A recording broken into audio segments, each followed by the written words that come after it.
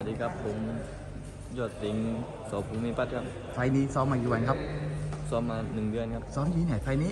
ค่ายมวยโสโจกมิใจครับ มีใครเป็นผู้ปั้มผู้ซ้อมบ้างที่นั่นมีเจรามดำสิงหาเล็กครับกับคนในค่ายช่วยกันเนาะครับ ตอนนี้เราอายุเท่าไหร่แล้วยี่สิบครับเราสูงเท่าไหร่ร้อยหกสิบห้าน้ำหนักปล่อยๆประมาณกี่กิโลครับ ห้าสิบเก้าเรามวยสไตล์เลยครับ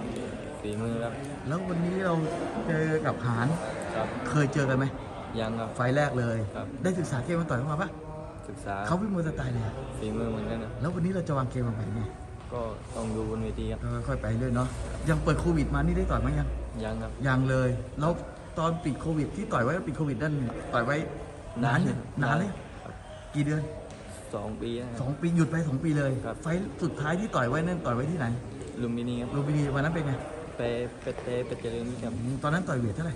ร้อยห้าร้อยห้าวันนี้ต่อยร้อยยี่สิบเอ็ดครับ ร้อยยี่สิบเอ็ดครับคือต่อยวันนั้นแล้วหยุดไปเลยครับ สองปีไปอยู่ไหนมาอยู่บ้านเนี่ยก็เลยแล้วเพิ่งกลับมาใหม่ ครับ คิดว่าตอนนี้ร่างกายเราเป็นไงก็โอเคครับ สมบูรณ์ครับ ถึงจะหายไปนานแต่ร่างกายไม่ไม่นี่แน่นอนใช่ป่ะครับร้อยเปอร์เซ็นต์ครับเราต่อยมวยมารวมๆทั้งหมดนี้กี่ไฟล์แล้วประมาณที่ต่อยมาหกเจ็ดสิบครับโอเคสิบไฟล์ได้เนาะครับ อะเราควรจะมาเลยครับ นครศรีธรรมราชฝากเชิญชวนแฟนคลับเราวันนี้หน่อย ควักเจ้านครศรีธรรมราชเป็นแรงกำลังใจให้ผมด้วยครับเต็มที่แน่นอน ครับ